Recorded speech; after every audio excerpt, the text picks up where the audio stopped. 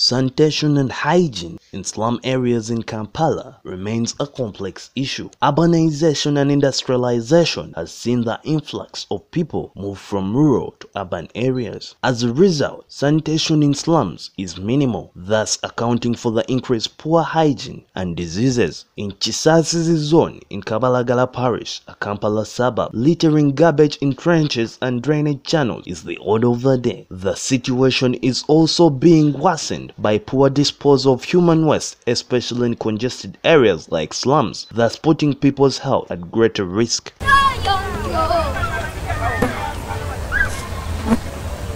Area Local Council 1 chairperson Salongo Katumba Amos says the residents' outcry for a cleaner environment has not yet been addressed by Kampala Capital City Authority.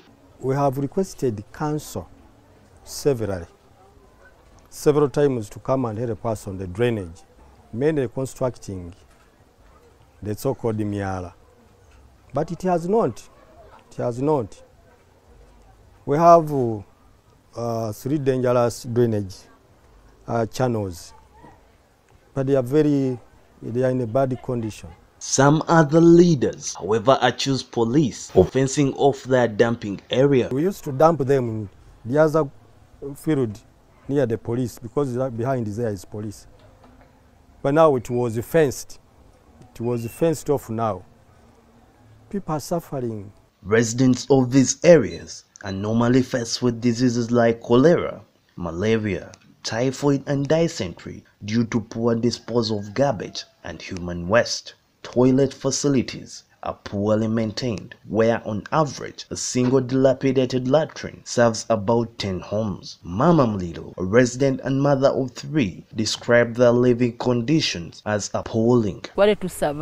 abeerosi baffe batuleetera ebimotoka nga gavumenti naffe tujja kusobola kasasiro waggulu bamutuyambeko kasasiro atukosa emyala tebagigogola ffe twefaako netugogola saawa zino ogenda ogogola omala olina okuyingira eri munda okole ki ogogole omwala kati nga ffe abalina abantu kosebwa naffe balwala ensiri nyingi Residents have even given up on garbage collectors, whom they accuse of charging them high fees and instead resort to working with young boys in the area who are offering cheap labor. But when they came to charge, they charged a lot of money.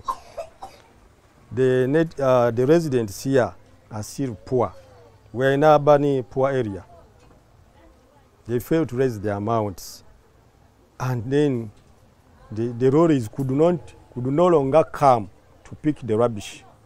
we have these young boys who carry who carry it, collect it from the, from the homes to homes, and we pay them individually. These are calling upon city authorities to intervene and dispose of garbage to other landfills. We are still begging for the government, for the council, to send those the, the trucks so that they can. These, these people cannot take the rubbish to Kiteezi themselves.